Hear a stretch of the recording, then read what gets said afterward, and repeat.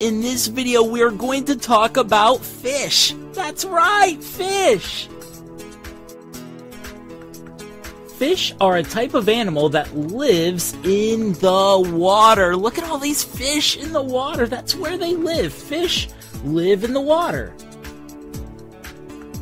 Now, that's not the only thing that makes a fish a fish. While most animals in the water are fish, not all of them are.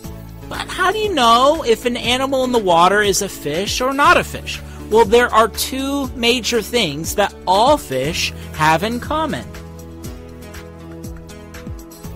The first thing is that all fish are vertebrates. Do you know what a vertebrate is? Hmm, it's a good question.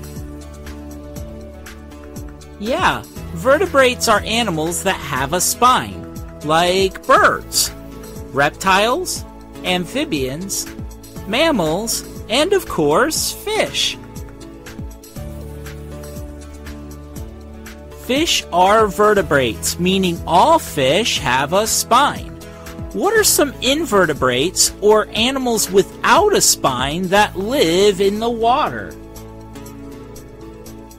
How about the octopus? An octopus does not have a spine.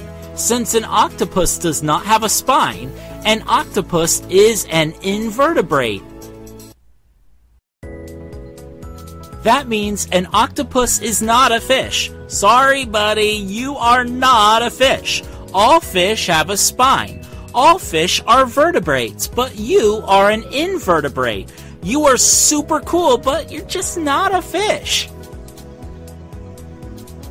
So, vertebrates and invertebrates. Vertebrates are animals with a spine, like fish. Invertebrates are animals without a spine, like this octopus. Wow, the octopus looks really happy that he doesn't have a spine. of course, if an animal doesn't have a spine, that means it can't be a fish because all fish have a spine. Look at this creature. What is this? Yeah, a jellyfish. Just like the octopus, jellyfish are invertebrates too. That means even though they are animals that live in the water, jellyfish are not fish.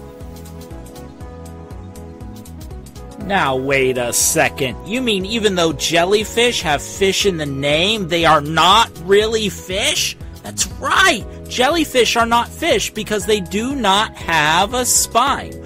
All fish have a spine, so whoever named jellyfish was trying to trick us, but we are not gonna fall for it.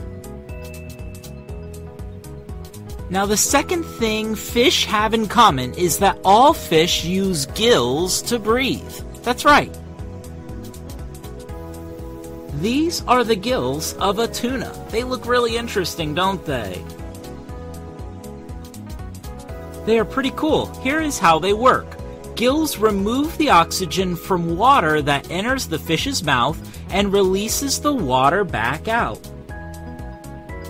Gills work kind of like our lungs do, except instead of breathing air like we do to get oxygen, fish get their oxygen from the water.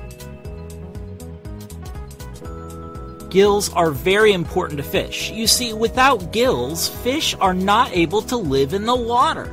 It's true. It is the only way fish are able to get the oxygen they need. Oh, Clarence, you really are a fish. You have a spine, which means you are a vertebrate, and you have gills, which is how you breathe in the water. You have to have both in order to be a fish. Well, now that we know what makes a fish a fish, let's look at more facts about these incredible water animals. Like this, there are about 30,000 different types of fish, and scientists are discovering more and more every single year. Maybe one of you will grow up and discover new types of fish that we never knew existed. Wouldn't that be cool? Fish come in all sizes and shapes and have very different characteristics depending on the species. Think of this A shark is a fish. Wow, did you know that? A shark is a fish. And a goldfish is a fish too. Fish are a wide ranging animal family, but remember, they all have a spine and they all have gills. And I like to think, you know, maybe the goldfish and the shark could be friends. Maybe. No. No, yeah, they. No, they wouldn't be friends. they wouldn't be friends. That goldfish would be a snack. Hey, this is cool. Just like amphibians and reptiles, fish are cold blooded. Huh. What does cold blooded mean? Do you know? What does cold blooded mean? Yeah, cold blooded means their bodies do not control their own temperature. The temperature of a fish, for example, is similar to its environment because a fish is cold blooded. We're different. We are warm blooded, so we don't know what that is really like, but we do know that fish, amphibians, and reptiles are all cold blooded. Their bodies do not control their own temperature. Now, this is kind of a sad fact. Did you know fish can feel pain and get stressed like we do? yeah, it's easy to think that fish are always carefree, they just swim around all day. But fish can feel pain and get stressed just like us humans. Oh no, Carl! Don't get stressed out. Deep breathing, Carl. Deep breathing, that's right. Ah, deep breathing. Hey, Hey, Carl, you're not deep breathing, are you?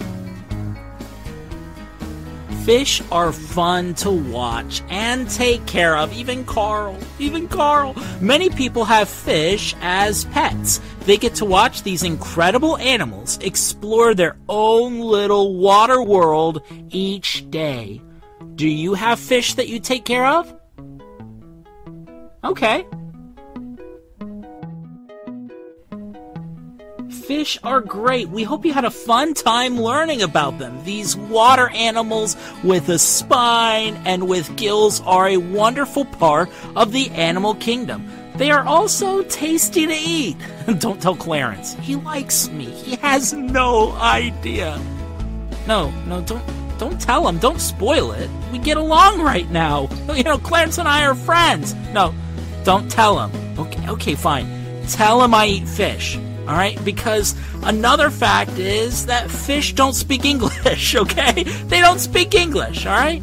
Or anything else.